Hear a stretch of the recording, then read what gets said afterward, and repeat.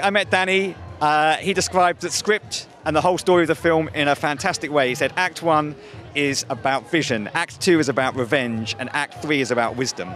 And just those three words as a composer was so much to grab hold of. And we had this crazy idea of trying to write three different scores uh, for the film, one for each act.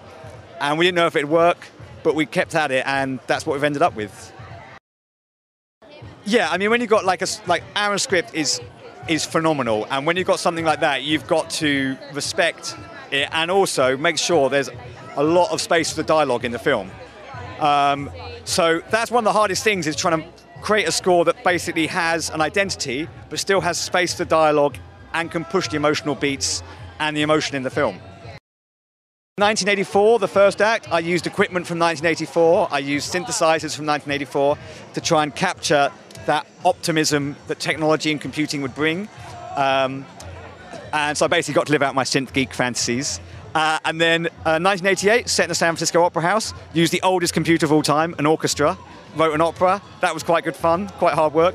And then uh, the third act, we used the computers of today uh, to write a digital score uh, to embrace basically what computers have become and reflect what Steve had become by that point in the story.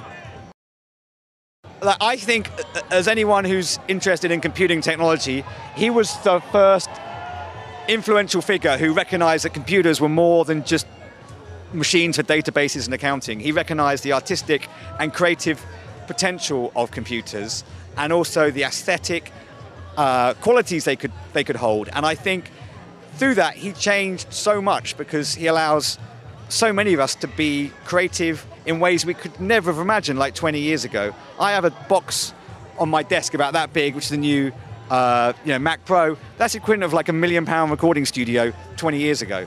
And to have that just lying on your desk now is phenomenal.